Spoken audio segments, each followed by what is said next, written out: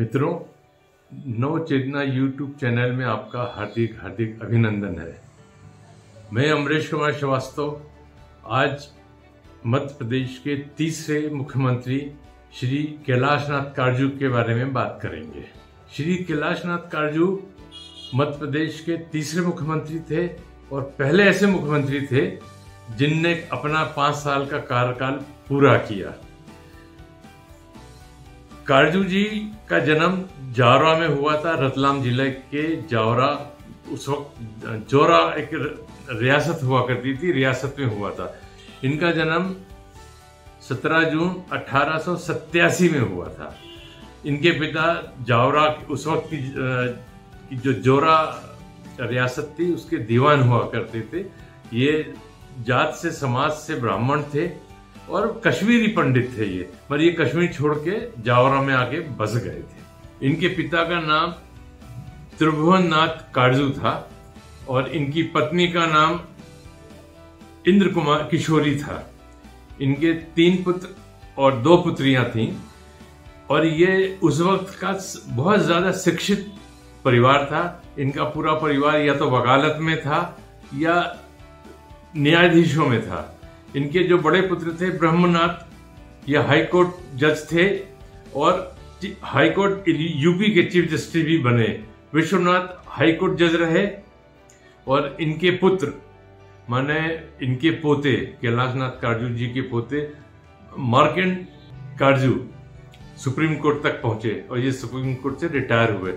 अपन कह सकते हैं कि उस वक्त का भी बहुत प्रतिष्ठित, शिक्षित और व्यवसायिक परिवार था।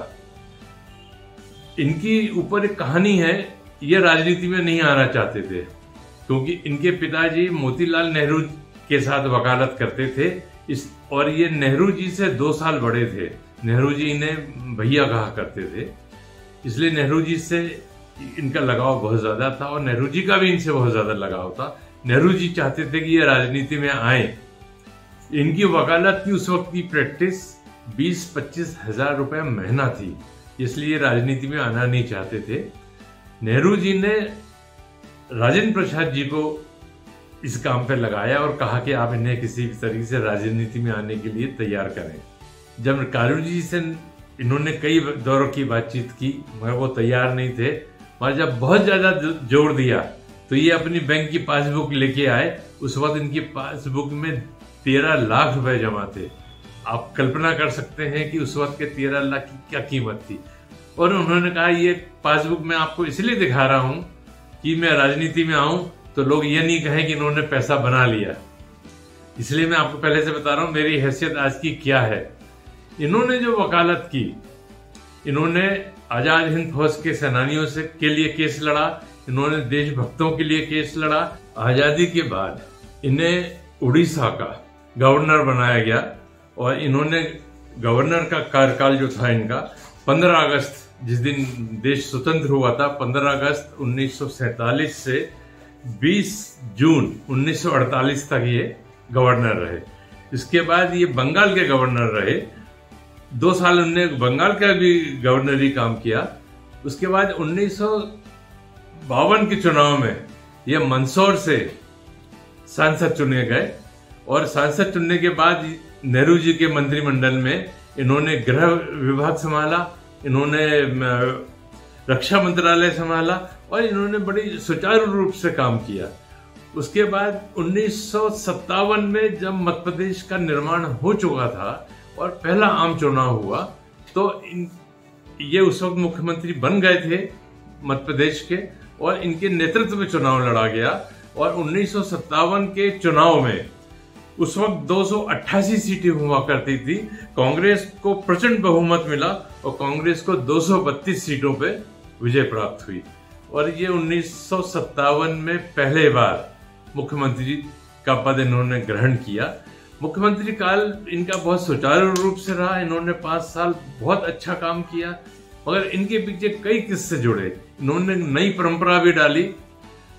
जब उस वक्त जावरा रतलाम के आजू बाजू के इलाके में बहुत ज़्यादा सूखा पड़ा करता था, पानी की कोई साधन नहीं थे, मगर चंबल नदी वहाँ से बहती थी।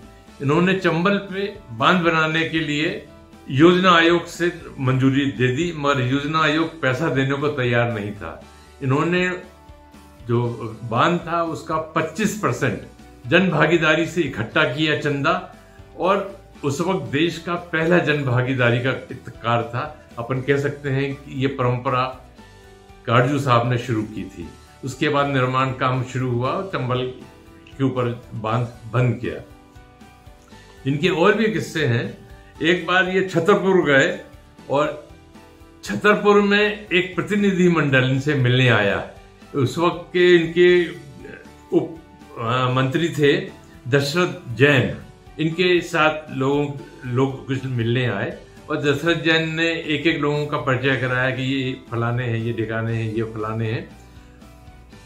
काजू जी भुलक्कड़ थे। काजू जी ने उनसे पूछ लिया कि आप कौन हैं? तो उन्होंने कह दिया, मैं दशरथ जैन। अच्छा बोलने लगे, मेरे मंत्रिमंडल में भी तो एक दशरथ जैन है। तो उन्होंने बड़े हँसते हुए कहा कि साहब, वो मैं ही हूँ। इस तरीके के उनके कई किस्से हैं। गांधी सागर बाँध जब इनके नाम पे बनाया गया इनके सहयोग से जन भागीदारी से बनाया गया, तब से इनको चंबल साहब भी कहा जाने लगा। ये चंबल साहब के नाम से प्रसिद्ध हो गए थे उस वक्त। उन्नीस सौ बासठ में जब फिर से आम चुनाव हुआ, इनका जब पास, पाँच साल पूरा हो चुका था, ये रीवा में एक बार चुनाव की मीटिंग में बैठे थे, चुनाव की कार्यवाही चल रही थी, नेहरू जी भाषण दे रहे थे तो इनको, इनके सबॉर्डिनेट ने, इनके अधीनस्थ अधिकारी ने एक तार दाके दिया। और तार में लिखा लिखा था, फ़ौरन जावरा पहुँचे, मुश्किल है। ये समझ गया कि चुनाव का माहौल जो है, मेरे खिलाफ जा रहा है और इत्तेफाक से ये चुनाव हार गए। कांग्रेस को तो बहुमत प्राप्त हो गया था, मगर ये चुनाव हार गए, कांग्रेस की सरकार बनी। मगर क्योंकि ये चुनाव हार गए थे, नेहरू जी को बड़ा, अफसोस हुआ कि ये चुनाव हार गए। वह उस वक्त जो हार गए थे तो बात खत्म हो गई। उसके बाद धीरे धीरे धीरे धीरे करके ये अपने शहर इलाहाबाद पहुँच गए, वहाँ ये स्थायी रूप से निवास करने लगे और इलाहाबाद के लिए काम करने लगे, प्रैक्टिस करने लगे। किंतु 17 फरवरी उन्नीस सौ अड़सठ में इलाहाबाद में इन्होंने अंतिम सांस ली और कांग्रेस ने एक उदयमान, एक कांग्रेस ने एक प्रतिष्ठित, एक सितारा हमेशा हमेशा के लिए खो दिया। धन्यवाद। मित्रों, अगर ये मेरा यूट्यूब चैनल आपको पसंद आया हो तो कृपया लाइक करें सब्सक्राइब करें, ताकि मेरा उत्साह बढ़ सके। धन्यवाद।